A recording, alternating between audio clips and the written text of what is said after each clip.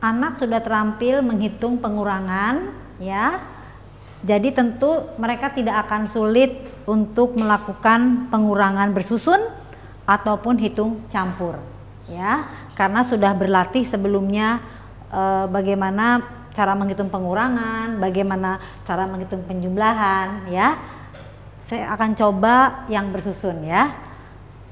Sama caranya juga selalu dari depan ya dan selalu kita cek satuannya dulu. Perhatikan di sini 4 tidak bisa dikurang 8. Jadi tentu kita coret puluhannya, kita pinjam kepada puluhannya. Jadi satu, ini jadi 10. Perhatikan lagi di sini, satu tidak bisa dikurang 5. Sehingga kita harus pinjam kepada ratusan. Ini satu, ini 10.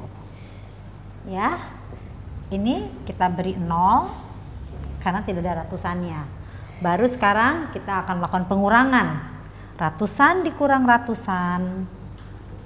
Puluhan 10 dikurang 5 masih ada 1 6 10 dikurang 8 2 masih ada 4 6 ya sama dengan cara mendatar hanya ini dengan cara bersusun tidak akan sulit kalau anak sudah mahir melakukan uh, pengurangan yang mendatar ya. Sekarang kita coba ini satu lagi. Perhatikan juga dari satuannya kita cek. 8 tidak bisa dikurang 9. Jadi kita akan pinjam kepada puluhannya. Ini menjadi 4, ini 10. Lihat puluhannya. 4 tidak bisa dikurang 8 sehingga kita pinjam dari ratusannya. 2, pinjam 10. Setelah itu baru kita lakukan pengurangan dari ratusan. Ratusan kurang ratusan, puluhan kurang puluhan, dua masih ada empat, jadi enam. Sekarang satuan 10 kurang 91 ditambah 8 menjadi 9. Ya, mudah bukan? Sekarang saya akan panggilkan Rizky Coba kamu lakukan pengurangan ini ya. Tidak usah dengan coret tapi langsung. Yuk, berapa? 441 dikurang 36.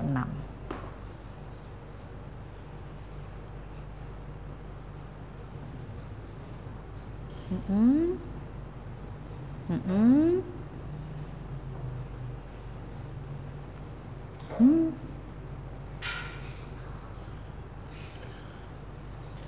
Iya, ya. 405. Rizky mencoba langsung tidak memakai coret, coretnya dia di kepalanya, ya. Jadi dia mengerjakannya langsung, ya. Terima kasih Rizky. Coba sekarang Evan. Tuh, lihat anak-anak, mereka semua bisa mengerjakannya, kalian juga pasti bisa. Yuk, coba.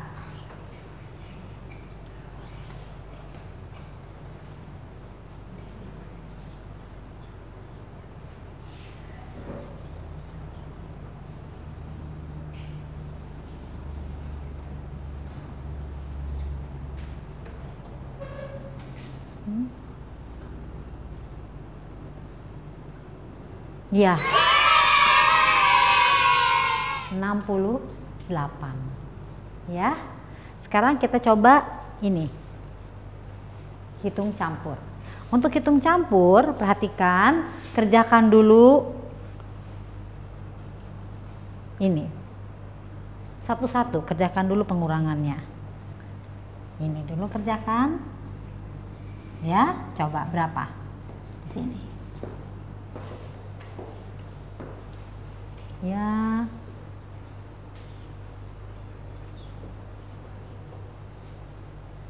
Ya.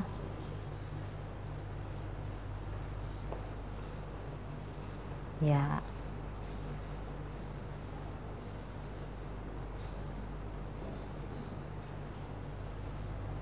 Ya. Sama dengannya boleh di sini hasilnya boleh di sini. Yuk jumlahkan sekarang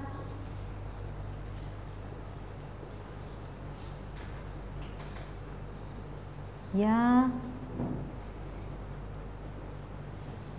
Ya.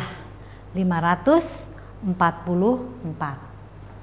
Sekarang kita akan mencoba uh, menyelesaikan soal cerita.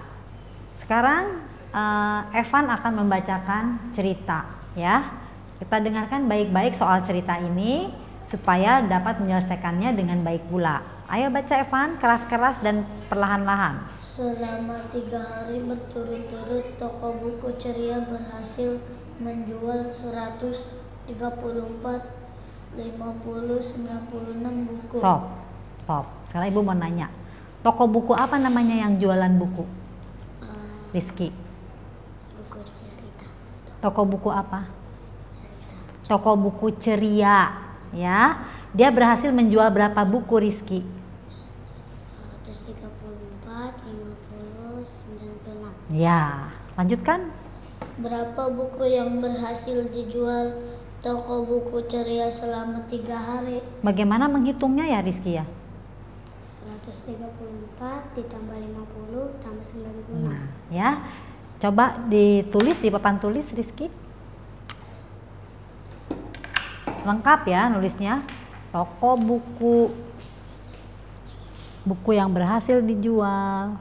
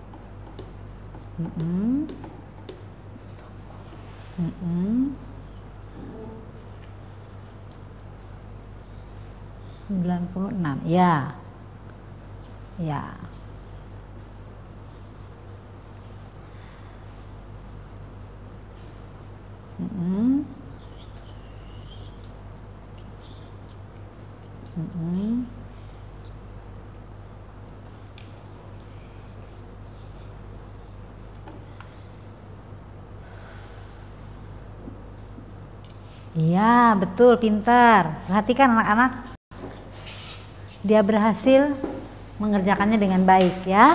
Jadi menjawab dengan lengkap ya, menjawabnya harus dengan lengkap ya. Coba e, berikutnya yang baca Rizky, yang keras ya, tapi perlahan-lahan supaya e, Evan bisa menjawab dengan baik. Bu Indah membuat 181 kue. So, siapa yang membuat kue, Evan? Bu Indah. Berapa dia membuat kuenya? 181.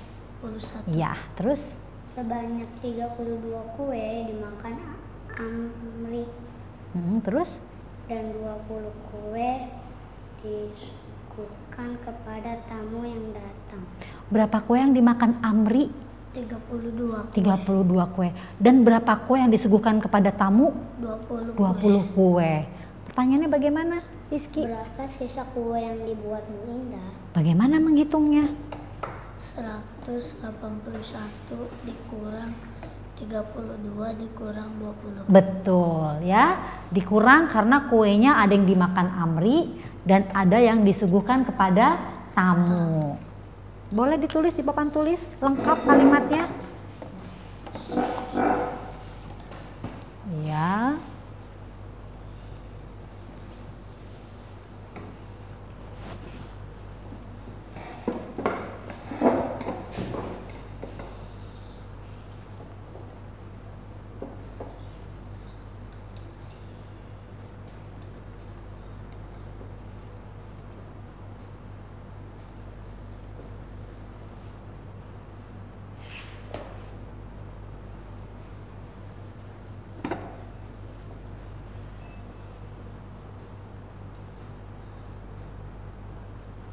Ya. Gimana? Tadi berapa? 181 awalnya kuehnya dimakan Amri 32 tentunya berkurang disuguhkan kepada tamu 20 kue juga berkurang